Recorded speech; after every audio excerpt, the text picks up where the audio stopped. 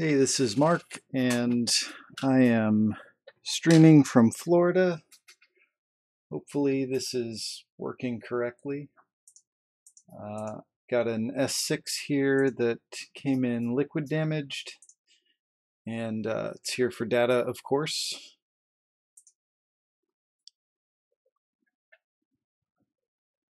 Uh, so what I've already done is um, just inspected really. Um, it looks like it's already been cleaned, but I can still see some pretty clear signs of, of where there was liquid. Um, and I've attached a wire so that I can power from the DC power supply. So I'm gonna do that now and see what I get.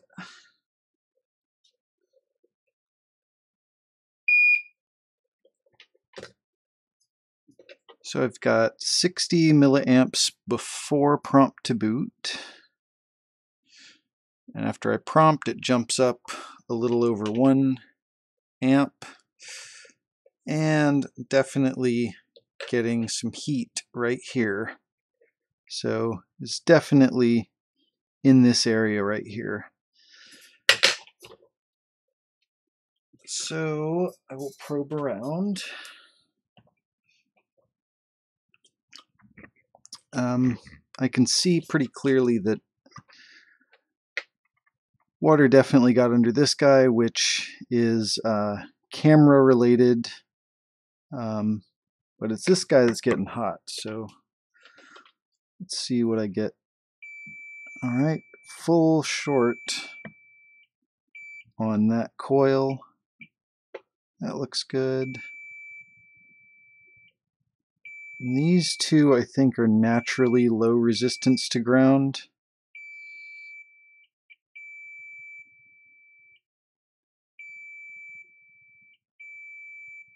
And these, this line is low, and I don't think it should be.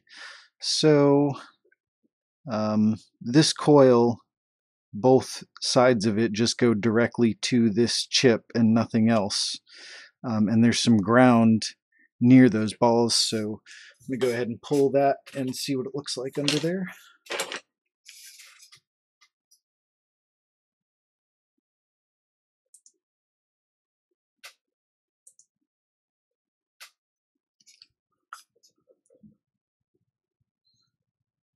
I'm going to try to watch the chat, but I don't have the thing set up like Jessa does where it's easy.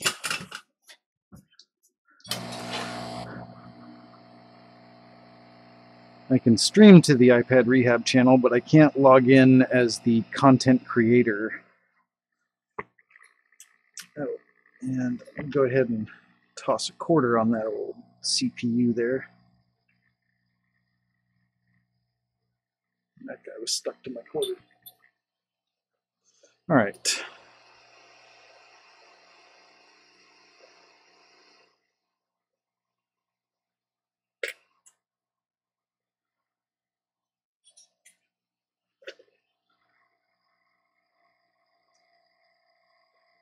So that doesn't look too bad. I don't really see a bunch of corrosion. There's a little bit of crap right there, but really not not bad.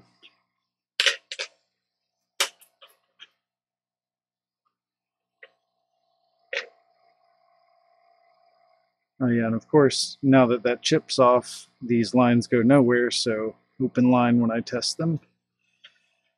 All right. Um, now I know it looked like water definitely got under this guy.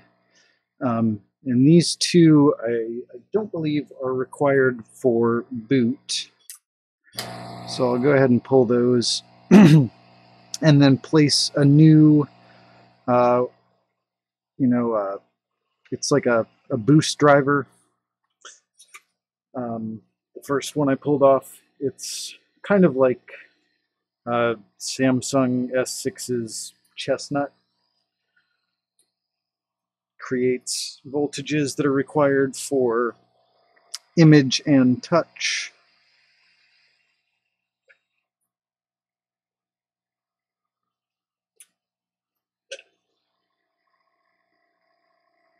All right, that one looks perfectly fine. So did the other one, really. I'm going to go ahead and put this guy back. I don't believe this one is required for image and boot, but I can't actually remember, so I'm just going to go ahead and put it back.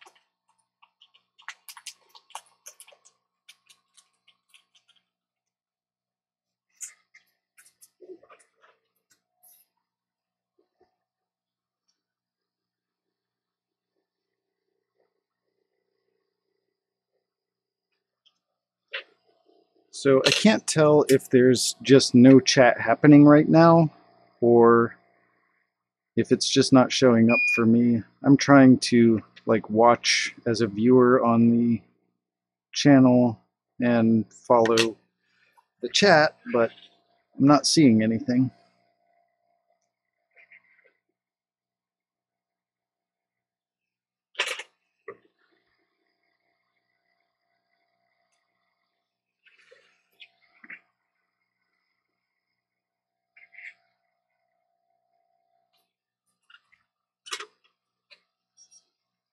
Right.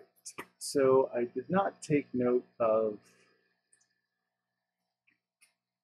where the uh, orientation mark was, but I have ZXW open. And it looks like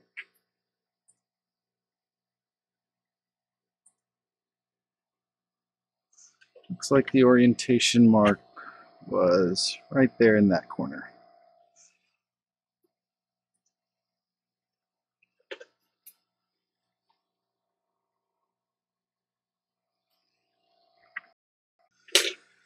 Right, now let's see if those lines are still low.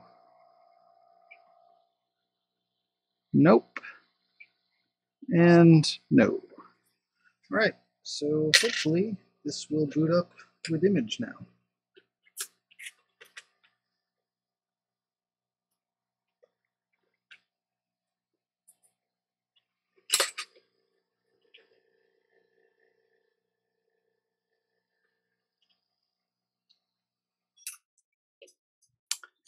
And now I'm not getting any pull from DC power supply before prompt to boot. Prompting. And we have image. All right. So uh, that's pretty much done now. I just got to pop this board into a known good housing and create a backup. So this is probably where I would answer any questions if I could see them. Uh, yeah, I'm not seeing anything in chat. So hopefully there aren't a bunch of people talking that I can't see, but I know there probably are.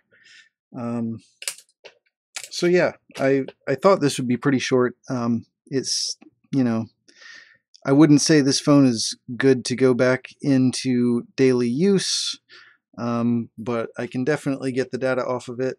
And I was planning on doing maybe a few long screw damage jobs and talking to the chat for a little while, but looks like that is yet another bug that needs to be worked out on my end. Um, oh, look, there's chat. Techno Lucas says, are schematics available on ZXW?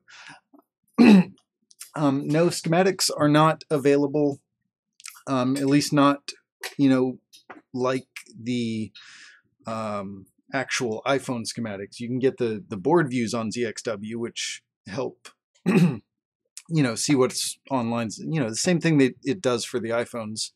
Um, but I don't believe like Blackfish has PDF schematics like they do for iPhones. Um, so yeah, I guess I guess I'm done here.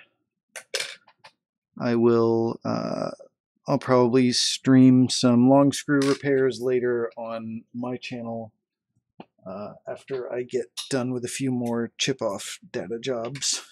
So thanks for watching and uh, see you next time I'm in New York.